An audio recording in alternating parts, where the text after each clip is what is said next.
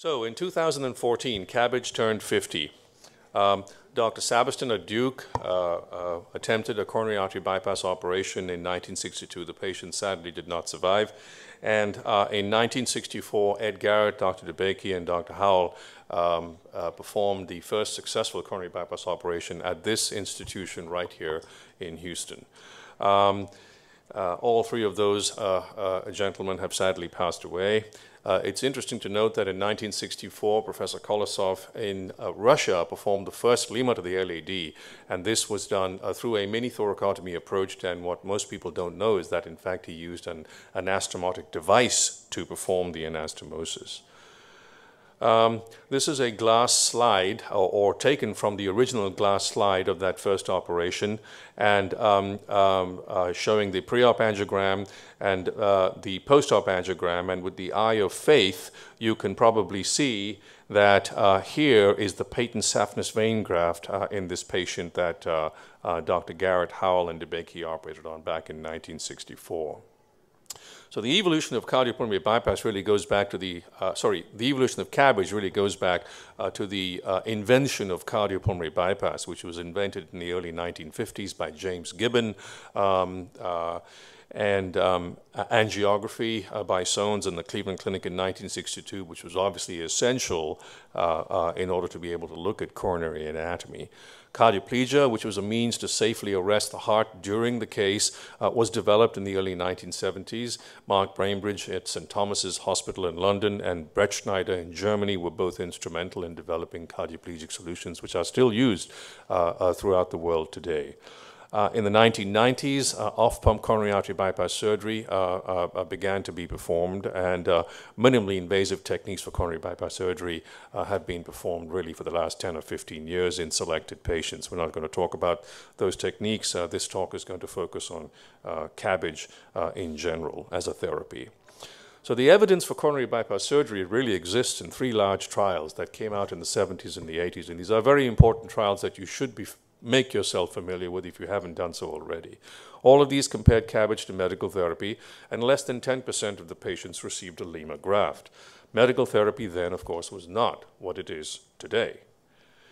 These are the studies the VA study, the European coronary surgery study, and the coronary artery surgery study. The first of these showed that in patients with triple vessel disease and poor left ventricular function, um, cabbage was superior. The second, in patients with left main disease, triple vessel disease, or double vessel disease with a significant proximal LAD lesion, cabbage was superior. And the last showed that in patients with triple vessel disease and patients with an impaired ejection fraction, cabbage was superior to medical therapy. In 1994, uh, uh, uh Dr. Yusuf uh, performed a meta-analysis that was published in The Lancet, another good one to look at, which basically updated data from seven randomized controlled trials of cabbage versus medical therapy.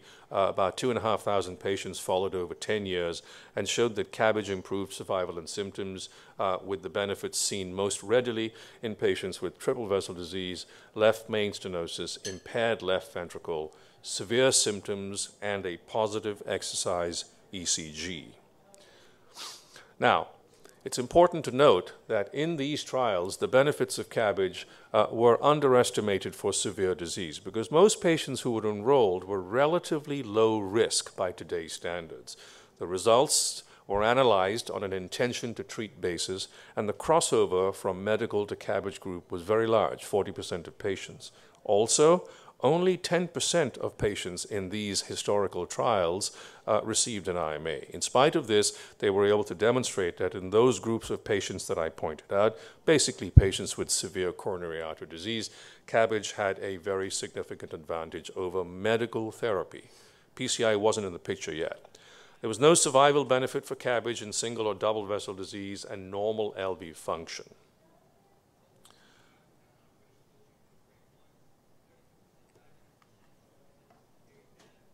So this is a timeline of the trials that was done that have been done in coronary artery disease. The slide is not really legible, but I put it up to demonstrate sort of a broad timeline uh, over the last 50 years. And on the bottom are a series of trials that have been done in yellow uh, comparing uh, revascularization of any kind, whether it's CABG or PCI, versus medical therapy. And, um, uh, and, and on the top is basically comparisons of PCI versus CABG. In blue, trials that were conducted early on looking at plain old balloon angioplasty.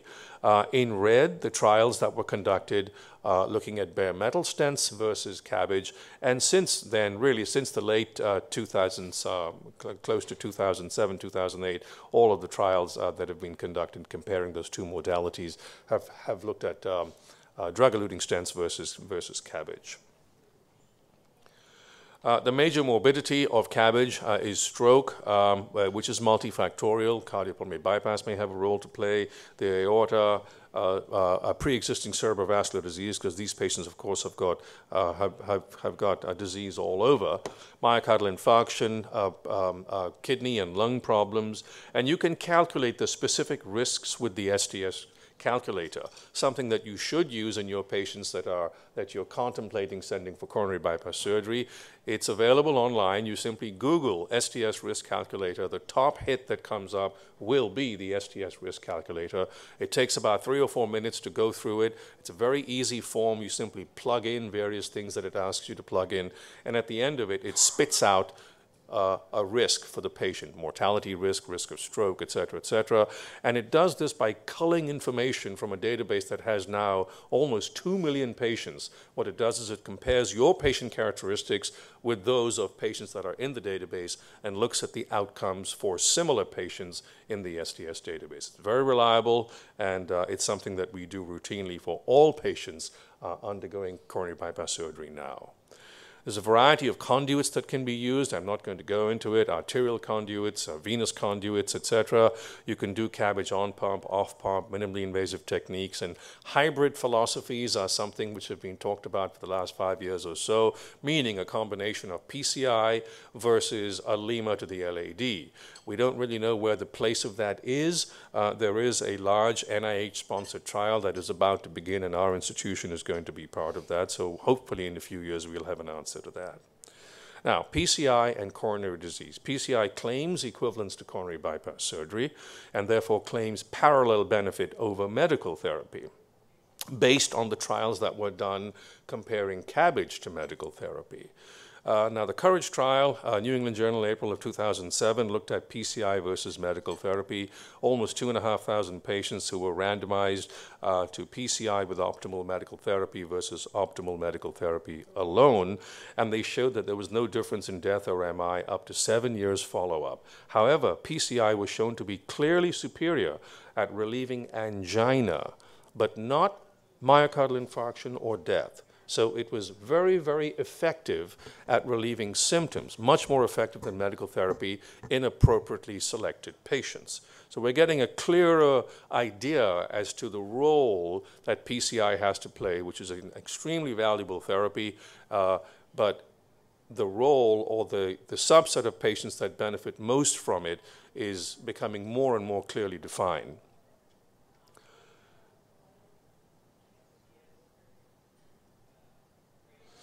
Now, this is a very important trial, the most important trial that I think you need to be aware of in the modern era comparing PCI versus CABG. It's, it's the syntax trial. The five-year results were published in the Lancet, uh, eh, sorry, in Lancet uh, 2013.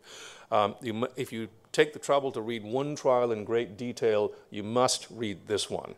Um, it was a randomized controlled trial of drug-eluting stents versus cabbage, 85 centers in Europe and the US, all comers, to mimic the real world, and almost 4,500 patients were screened. Now, the next line is the most astonishing thing to me. 71% of these patients were enrolled, which is absolutely unheard of in trials of this nature, and it really bolsters the validity of the results that we get from it. 58% of these were randomized equally, and the rest were enrolled in a registry. Most of these were deemed to be too complex for PCI, so they weren't randomized. All of these were screened by a heart team, and the composite endpoint of death, stroke, MI, and repeat revascularization was used to compare outcomes. Most important contribution, I think, of the syntax trial was the development of the syntax score, which for the first time was able to numerically identify the severity of coronary artery disease, not something we, we had done before. And they took the trouble to do that, and I think it's a very valuable contribution. And this is a diagram that shows you how they do it. They basically look at the different vessels and the severity of stenosis in each of the vessels, assign a score to each of them, and ultimately come up with a syntax score for the patient. So there's three vessel disease and there's three vessel disease, meaning you can have three vessel disease with a syntax score of 21 where you've got, you know, a tight proximal stenosis but not much else downstream, or a patient with uh, a tight proximal stenosis and tandem lesions further down with disease in the, in the, in the, in the other coronary systems. And he's got a much higher syntax score uh, indicating much more uh, diffuse uh, and severe coronary artery disease. So they looked at three terciles of patients, low syntax score, intermediate syntax score, and high syntax score and use the syntax score really to dissect out the differences between these two therapies for the treatment of patients with triple vessel disease. And the overall results indicated that at five years, there was a clear advantage for patients who had, who had had CABG versus, um, um, uh, versus uh, a drug-eluting stent, the Taxus stent uh, in this case, but I'll show you why in a moment, why I don't think it's relevant what type of drug-eluting stent it is. Um, and um, when they broke it down further and they looked at patients with a low syntax score, interestingly, they found that that, uh, that drug-eluting stents did almost as well. In fact, there was no discernible difference at five years.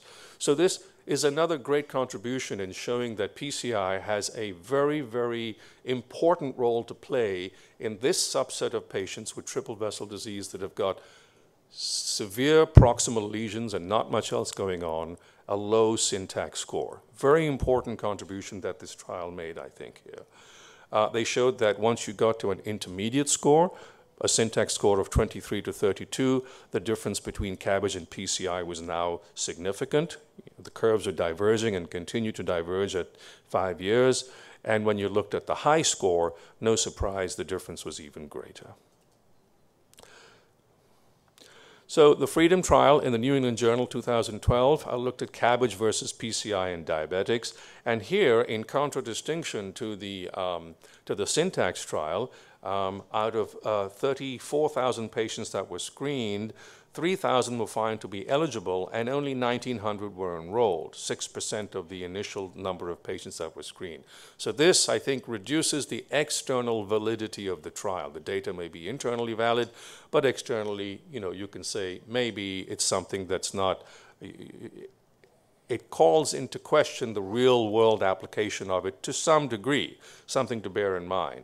But overall, in any case, they were able to show that CABG uh, was superior to PCI when it came to death, MI, revascularization, with the curves continuing to diverge at two years. Cabbage was superior in all subgroups, irrespective of syntax score, but it's worth noting that the stroke rate was significantly higher in patients with cabbage at 5.2% versus 2.4% for patients having PCI. There are registry data which looked at three vessel disease, and this is just one of them. The New England, the uh, the the New York registry data, which which uh, which uh, give the same sort of uh, conclusion. So why is CABG better than PCI? Well. Um, PCI treats an isolated lesion in the proximal vessel. the complexity of the lesion affects the outcome. If you have a really complex lesion and you're trying to treat it with a stent, it matters.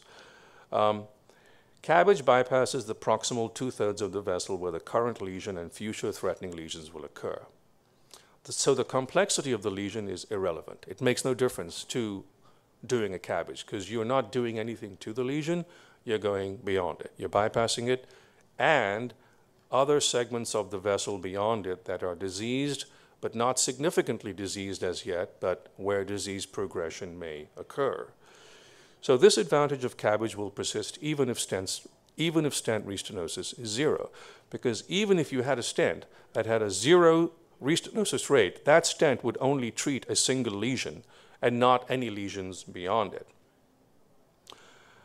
this is provocative, so maybe I shouldn't show it, but I will. But in any case, in 2006, in The Lancet, a medical journal, uh, on the cover, they said that at that time, and this is 10 years ago now, in view of the survival benefits shown for cabbage, the real controversy is why patients with symptoms and anatomy known to benefit are still sub submitted to PCI.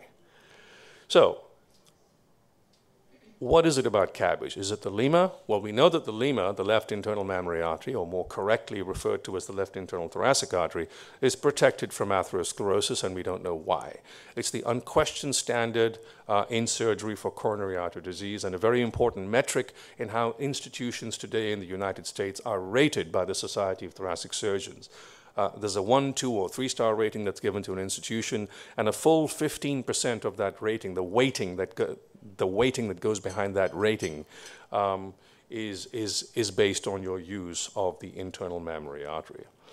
It's impossible to fully dissect the independent benefits of the IMA versus the SVG in the same patient because no head-to-head trial of SVG-only bypass versus stents would be ethical, given what we know about the LIMA. Any comparison of SVG to stents would be quasi-scientific at best. Nonetheless, most surgeons and cardiologists agree that the majority of cabbage benefit rests with the IMA. Uh, Dr. Loop, in his seminal paper in 1986 from the Cleveland Clinic, uh, uh, first dramatically demonstrated the influence of Lima on 10-year survival. And a study in 2009 from the Cleveland Clinic, which looked at almost 5,000 patients who had had previous coronary bypass surgery and who had a patent Lima and who came back with symptoms, showed that there was no survival benefit for intervention, no survival benefit for intervention if the LIMA was patent. What you could do to help these patients is help their symptoms by medical therapy, redo cabbage, or PCI. But you couldn't make them live any longer if they had a patent LIMA. Vein grafts don't do very well. We know this, and this is a one-year angiographic study of vein grafts that was done, the PREVENT study, which showed that the failure rate was an astonishing 25% at one year. Most of these, of course, were, were asymptomatic, but it's, it's, it's, it's worth noting that vein grafts do not do well. And this is a study, this, the Spirit 4 study, which is now uh, six years old, which showed that the target lesion uh, failure rate at one year was 4.2% as compared to 25% for vein grafts. So for specific focal lesions, we know that PCI works very well. The FAME2 trial looked at patients with stable coronary artery disease and at least one stenosis with FFR less than 0.8, and they randomized them to medical therapy versus FFR-guided PCI. Um, it was stopped uh, with an endpoint of death, MI, or urgent revascularization. It was stopped after uh, 888 patients because the Data Safety Monitoring Board showed that there was already a clear benefit for PCI versus medical therapy uh, in these patients. Um, the latest guidelines uh, for the treatment of stable coronary artery disease are available for you to look at uh, from the European Society of uh, Cardiology and the European Association for Cardiothoracic Surgery. Uh, the American Heart Association guidelines, I believe the latest ones are from 2012. It's a good thing to look these up because with each specific category, uh, you will have references, key references that would allow you to quickly look up the basis for the decisions that you make in your patients every day. And it's very important. To the guidelines are a great way, you know, to keep up to date with stuff and to look at the relevant literature on the subject. So, future trends, the LIMA for life, as we talked about, stents for symptoms, and best medical therapy. I think that the future for coronary artery disease is a multidisciplinary approach. It's like cancer. It is a very, very nuanced and complicated thing. It's not just coronary artery disease. When you start treating it in earnest when you go into practice, you'll understand how many complexities there are to the treatment of patients with coronary artery disease. Um, I think that a convergence of best medical therapy, PCI, and CABG is a natural thing to happen. The syntax score was a major contribution. The role of hybrid procedures is, is, is as yet undefined, and we'll know hopefully in the next three or four years whether this is a good thing. And I do think that a heart team approach which encompasses at least an interventional cardiologist and a surgeon, and preferably a non-interventional cardiologist as well, uh, for the evaluation of patients with ischemic heart disease uh, will be essential for optimum care in the future. Already at our institution, twice a month uh, uh, for the last few years, we, we, we host an ischemic heart disease conference where we look at patients with, you know, coronary artery disease, and you'd be, you'd be amazed. The patients with, with the most obvious treatment options that you would look at and say, oh, he needs a CABG or he needs a PCI, the most obvious patients will generate a vigorous discussion, disagreement, because you can find anything out there to support a point of view. It's still, you know, th there are certain things that have been resolved very clearly, and I've tried to point those out to you, but there are many, many others which remain unresolved. Thank you.